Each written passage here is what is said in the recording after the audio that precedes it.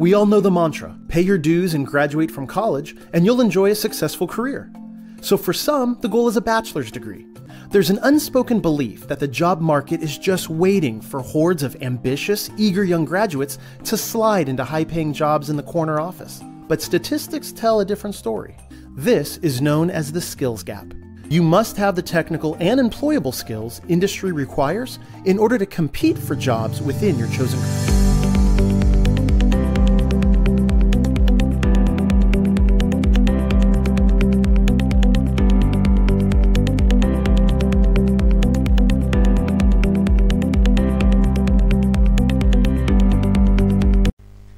Now, let us understand the topic, grading of aggregate.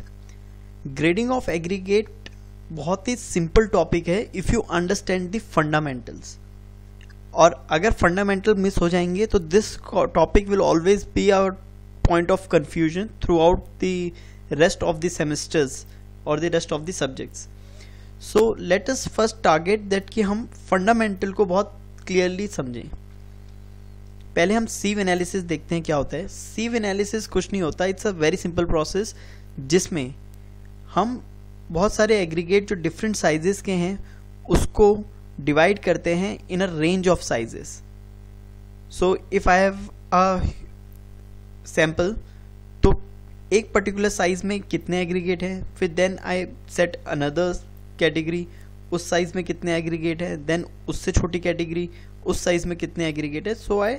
Just identify कि particular range of size में कितने weight aggregate है in a sample. अगर मेरा aggregate 80 M mm से 4.75 mm का साइज़ है, यानी कि उसको 80 एम mm से वो पास होता है और 7.5 mm सीव पे रिटेन होता है तो उस एग्रीगेट को हम बोलते हैं कोर्स एग्रीगेट। और अगर कोई एग्रीगेट 4.75 mm सीव से पास होता है एंड 150 माइक्रोन सीव पे रिटेन्ड होता है। तो उसको बोलते हैं फाइन एग्रीगेट सो ये क्लासिफिकेशन है कि how we say a coarse aggregate और a fine aggregate this is very important from interview point of view अब फाइन एग्रीगेट को फर्दर डिवाइड किया जा सकता है into coarse sand medium sand and fine sand fine sand now there is one property which is the fineness modulus which will calculate in the further video now fineness cent fine sand का modulus जो होता है वो its range is between 2.2 to 2.6 अगर किसी fineness modulus is between 2.6 to 2.9 then it is medium scent and if the fineness modulus is in the range of 2.9 to 3.2 then it is coarse scent scent with more than fineness modulus is not suitable for concrete अगर 3.2 से ज़्यादा है fineness modulus तो it's not suitable for the concrete now let us understand this importance of fineness modulus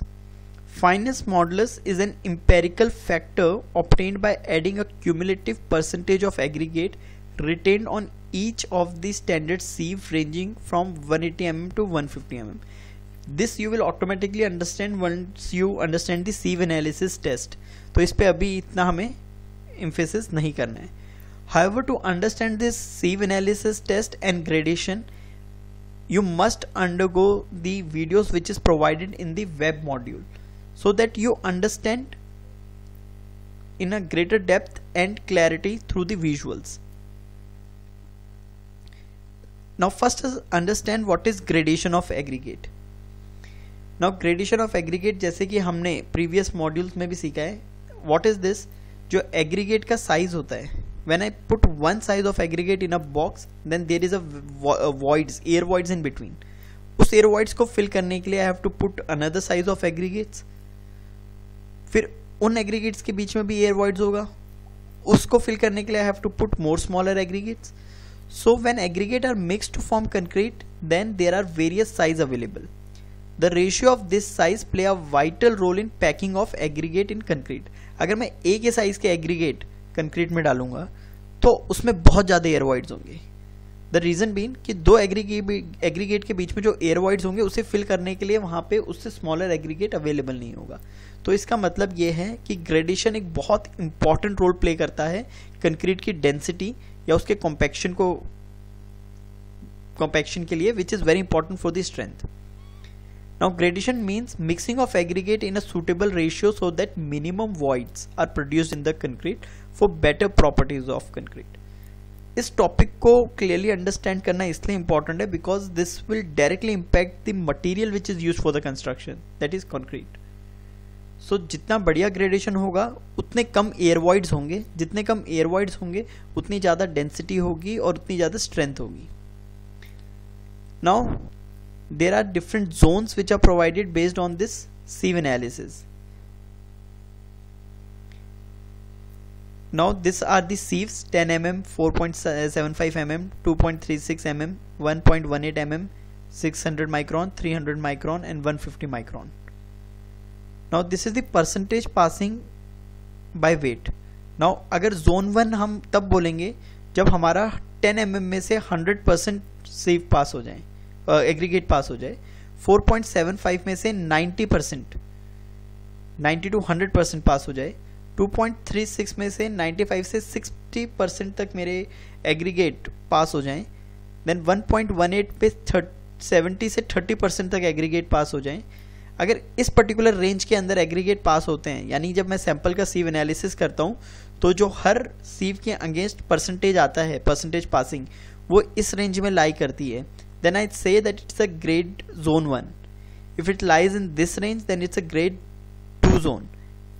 similarly grade three and grade four zone so पहले मुझे sample लेना है। उस सैंपल को इन सब सीव से पास करवाना है। इन सीव से पास करवा के हर सीव के अगेंस्ट कितना परसेंटेज पास हुआ है? उस परसेंटेज को यहाँ पे लिखना है and then I have to check in which range it is lies accordingly I categorise it as zone one zone two zone three and zone four now along with this, let us also understand the concept of crushed sand. Sand construction activities के लिए दो तरीके से available हो सकती है. First is the crushed sand and second is the natural sand till now we have been using natural sand but ये naturally produce होती है और now due to the environment concern this is not available in a huge amount so we are producing और manufacturing sand which is known as the crushed sand Natural sand have advantage that its particles are cubical or rounded with smooth surface texture giving good workability unlike crushed sand which produces harsh concrete. तो जो natural sand होता है उसके round particles होते हैं और surface थोड़ा smooth होता है जिसकी वजह से concrete is able to flow less friction is there but जो क्रश सैंड होता है इट्स इट्स आर्टिफिशियली प्रोड्यूस्ड और इसके जो पार्टिकल्स होते हैं, वो एंगुलर होते हैं, जिसकी वजह से वर्केबिलिटी लेस होता है। Now this is one of the most important topic which most of the people who are practising civil engineering are not very clear with that is concept of gap grading ठीक है what we have to do we have to do the grading of concrete in a, of aggregate in a way that we have the minimum air voids. अभी तक एक जो common understanding है वो ये है कि सबसे बड़े एग्रीगेट डालो, फिर उससे छोटे एग्रीगेट डालो, फिर उससे छोटे एग्रीगेट डालो, फिर उससे छोटे एग्रीगेट डालो and this way there will be a minimum air voids but in practically और in site this is not the situation ऐसा नहीं होता है. सबसे बड़े एग्रीगेट जब हम डालते हैं तो उसके बीच के जो एयर वाइड्स होते हैं वो उससे छोटे एग्रीगेट से फिल ही नहीं होते हैं। यानी कि अगर मैं 20 एम mm का एग्रीगेट लेता हूँ और उसके एयर वाइड फिल करने के लिए if I use the so what we do in gap grading हम एक aggregate suppose 20 m m aggregate के वॉइड्स फिल करने के लिए we will take aggregate which is two three times smaller than that जैसे कि 8 m m aggregate instead of 18 m m aggregate वो voids 8 m m aggregate fill करेंगे। Then to fill the voids of 8 m m aggregate instead of using 6 m m aggregate we will use 2 m m aggregate